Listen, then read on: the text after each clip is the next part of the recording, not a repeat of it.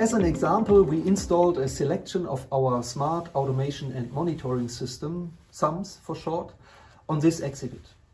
Here you can see an IO-Link master module for the acquisition of the signals of the SAMS components and a so-called IO-Link hub for the acquisition of the signals of the standard components. Furthermore, a range of optical and inductive sensors, a capacitive rod probe for level measurement, inductive coupling systems for contactless signal transmission, and RFID read-write systems for the identification of, for example, format parts.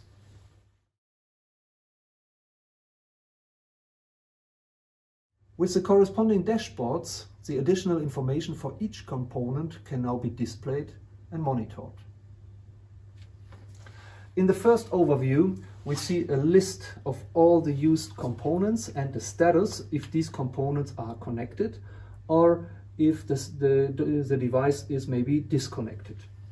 As well, you can see an overview about the working hours of every single component, so you can see how long these components are already in use. On the right side, in this list, you can select the detailed information about every single component. In the condition monitoring overview, we see a comprehensive information of all the used components in regards of internal device temperature, an overview about the inclination deviation, vibration information, and a status about the signal quality of every single component. If we simulate the vibration, for example, with a short motor, we will see that uh, the vibration information of this specific component, which is exactly this optical sensor, is rising up.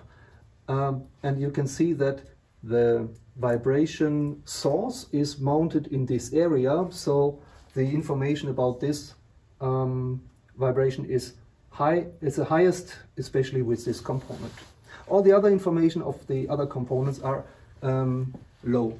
As well, we can simulate the inclination information and we will do this again with this specific sensor. If we are moving it out of the actual position, we see that the inclination information of this component is rising and at the same time the signal quality is going down. If we are moving back to the original position,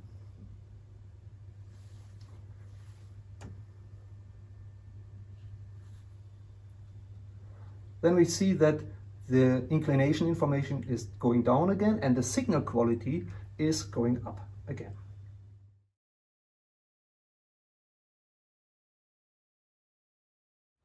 Now we started our new Balluff engineering tool and the first thing we have to do is to scan the topology. This we can do with this menu here and first of all we have to select the used interface in our PC and select the scan. Now the software is uh, checking the actual topology and will find the IO-Link master module with all the connected, connected components. So you see again that this is our IO-Link master module and we have here all the connected devices on our exhibit. For some of these devices we don't have an actual IODD implemented, so we will uh, deselect these devices here from the topology and add this to the graphical display. So you see that we have now the possibility to display our topology in a graphical way. And the first thing we can do is to uh, double click on the master module. If we do that, then we will open the internal web inter interface of the master module and we already see an information about the actual situation of the topology. That means and information of all the different connected components on every single port of the master. For example, on port 7 there is the IO-Link I.O. module connected and if we disconnect it we will see this directly here in the message display of the master module. If we connect it again then the message will change and we will get the information that the module is back again. Uh, with the button on the top of the module, we can select the condition monitoring area of the IO-Link master module.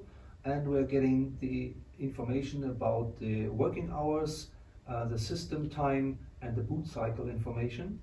We are going to get the internal temperature and the information about the power supply and the current. Detailed information of every connected IO-Link device we're going to get with the system information.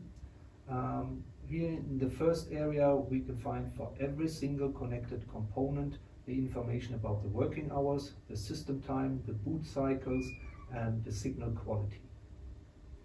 Next area will show us the electrical values.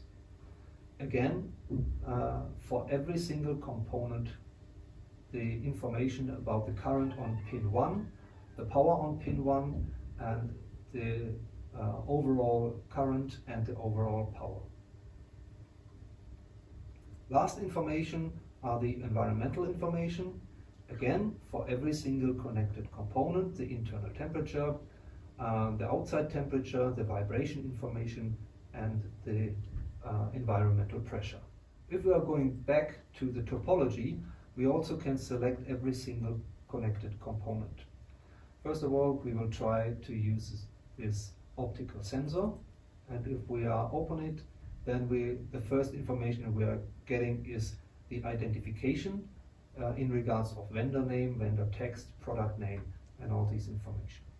Next area is parameter. In the parameter area, we have the opportunity to send a so-called ping. That means sending a signal to the device and the LED on the device will flash in blue. Other opportunities are application reset or factory reset settings. We can configure the signal counter to count the objects which are detected from the module we can use the counter as a speed monitoring component. That means counting uh, signals in a specific defined time. We can configure signal delays uh, depending on specific uh, channels we are using. We can configure the boot cycle counter and the operating hours counter. We can set a value for the signal quality. That means if the signal quality is lower than this threshold what we are setting here, then we're going to get an information. Same with the internal operating temperature. We have the information about the maximum, the minimum and the average operating temperature and we can set min and max values again. We're getting messages if min or max values are out of range. Switching channels means uh, that we have the possibility to set the teach points of uh, measuring devices. The inclination information can be set. This is also a teach procedure. Um, when mounting the component, uh, we can set the actual position and if the device is moving out of this actual position, we can get a message or a warning. Same situation with the vibration. It's not only the RMS uh, value we are going to get, but also the peaks in direction X, Y, or Z.